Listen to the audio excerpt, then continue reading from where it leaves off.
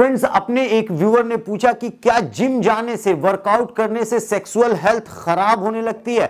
Friends सवाल सुनने में थोड़ा अटपटा है, लेकिन है बहुत ही इंटरेस्टिंग तो अगर आप जिम जाते हैं और अपनी सेक्सुअल फिटनेस को लेकर आपके मन में सवाल चल रही है तो ये वीडियो खास आपके लिए, वीडियो को लास्ट तक देखिएगा। और अगर आप चाहते हैं कि हेल्थ और फिटनेस से रिलेटेड वीडियोस आप तक आसानी से पहुँचे तो चैनल को सब्सक्राइब करना मत भूलिएगा। हेलो एवरीवन मैं डॉक्टर फारूक उबैदुल्लाह आप सभी का आपके अपने चैनल पर स्वागत है, जहाँ बातें होती हैं हेल्थ और फिटनेस की। फ्रेंड्स जिम जाने से या वर्कआउट करने से आपकी सेक्सुअल हेल्थ खराब नहीं होती, बल्कि आपकी सेक्सुअल फिटनेस और अच्छी होने लगती है।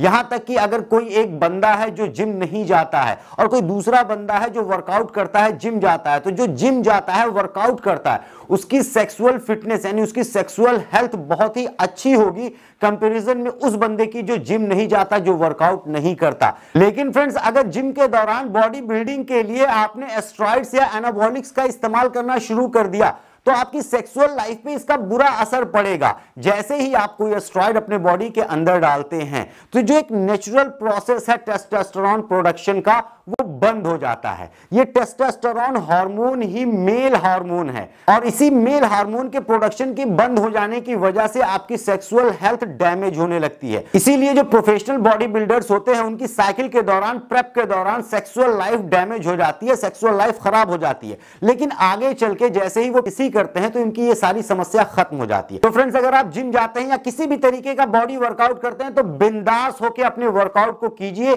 सुनहरे अक्षरों में कहीं लिख लीजिए इस बात को कि जिम जाने से वर्कआउट करने से आपकी सेक्सुअल लाइफ खराब नहीं होती, बल्कि आपकी सेक्सुअल फिटनेस और भी अच्छी हो जाती है। इस उम्मीद के साथ आपसे विदा लेता हूँ कि मेरी बातें आपको समझ में आई होंगी। अगर आपको लगता हूँ मैं, मेरे वीडियोस आपके लिए, आपका फ्रेंड्स लाइफ सोसाइटी के लिए थोड़े से भी फ़ायदेमंद है तो प्लीज़ लाइक शेयर कमेंट और सब्सक्राइब करना ना भूलें। Thanks It's a lot.